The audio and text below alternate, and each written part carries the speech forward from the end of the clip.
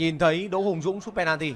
Các bạn à, hãy cùng đăng ký kênh YouTube người truyền lửa để cùng nhận những trận đấu hấp dẫn, những nhận định đánh giá, những tổng hợp của các giải bóng đá khu vực. Trên màn ảnh các bạn hiện tại đang là ông bầu Sơn Châu và huấn luyện trưởng Tú Khỉ. Là sút penalty thì luôn rất đáng xem. Đây là những ngôi sao của Mẫn Xá.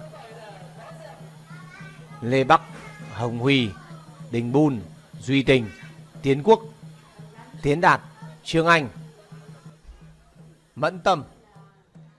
Vâng và một trong những ờ, thánh nổ đắc ôm bom, đắc ôm lựu đạn. Người được mệnh danh là ông bầu. Bên cạnh đó là Thạch Monino, người luôn xuất hiện một một vẻ rất điềm trai. Áo đen, quần đen,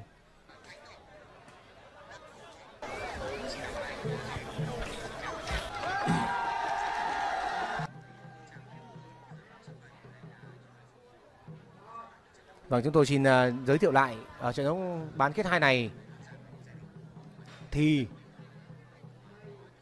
điều khiển chính là trọng tài Ánh Dương.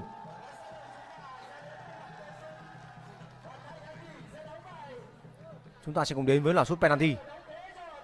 Những người thực hiện sút penalty trước là Mẫn Xá và Tiến Quốc là người lãnh sướng là sút đầu tiên dành cho các thủ Mẫn Xá. Thành Henry là người sẽ thay thế thủ môn Văn Dũng.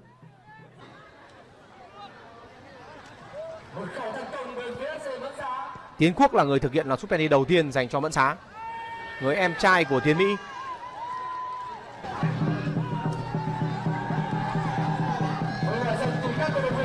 Rất căng thẳng. Máy quay thì không thể bắt hết ờ, được ờ, những cái khoảng không ở bên hành lang bên phải nơi mà các cầu thủ Mẫn Xá, các khán giả Mẫn Xá ngồi. Tỷ số là 1-0 và dứt điểm đến từ Tiến Quốc Thành Henry đã bị đánh lừa.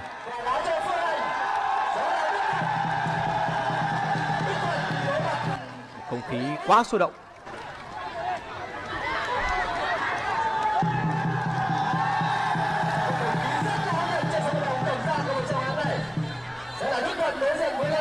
Lê Bắc sẽ đứng trước ừ, và sút đầu tiên của Phương Anh. Và bóng đã đi ra ngoài.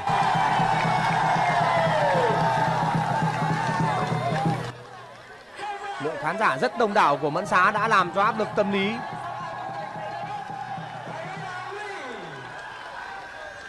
Người thực hiện tiếp theo dành cho cao thủ Mẫn Xá là Hồng Huy.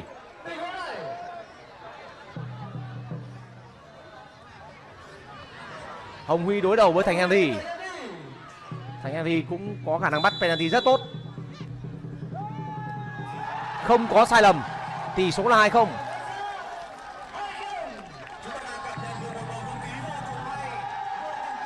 Hai không dành cho Mẫn Xá. Cơ hội rất lớn để cho các thủ Mẫn Xá đánh bại Phương Anh trên sân phát đền. Vâng đây là Đỗ Hồng Dũng. Ngôi sao của bóng đá Việt Nam. Không vào, và như vậy là Lê Bắc đã chiến thắng Đỗ Hồng Dũng trên sân phạt đền. Người hùng của tuyển quốc gia Việt Nam thì đôi khi cũng là một tội đồ của Phương Anh, đó là điều bình thường.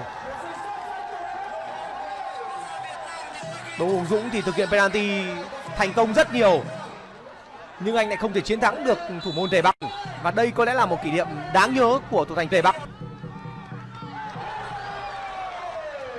Trương Anh đã không thể chiến thắng được Thành Henry. Đây sẽ là một kỷ niệm cũng không thể nào quên được trong cuộc đời thi đấu của Trương Anh cùng với Tề Bắc. Hiếu Chuột sẽ là người thực hiện là sút penalty thứ ba dành cho Phương Anh. Hiếu Chuột đối đầu với Lê Bắc.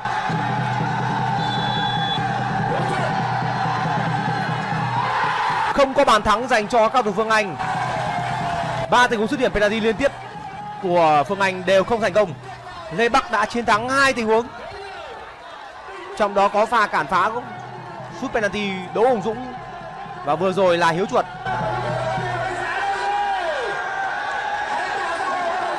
Đình Bun là người thực hiện là sút penalty thứ tư cho Mẫn Xá và nếu như Đình Bun chiến thắng được Thành Henry, thì các thủ Mẫn Xá sẽ có mặt trong trận chung kết. Một không khí vô cùng sôi động. Các khán giả của Mẫn Xá đã chuẩn bị ăn mừng rồi.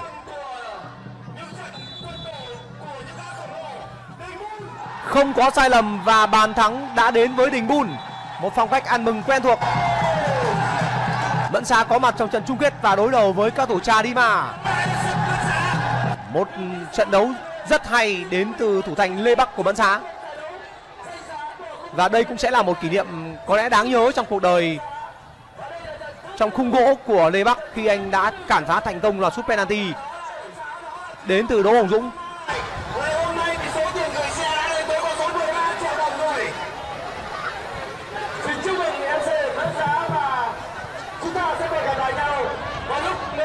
Những khán giả Mẫn Xá có lẽ đã không ngủ được sau một trận chiến với Phương Anh.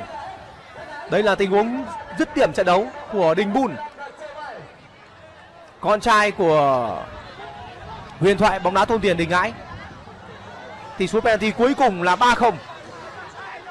Một cơn động đất, một sự bất ngờ ở sút penalty.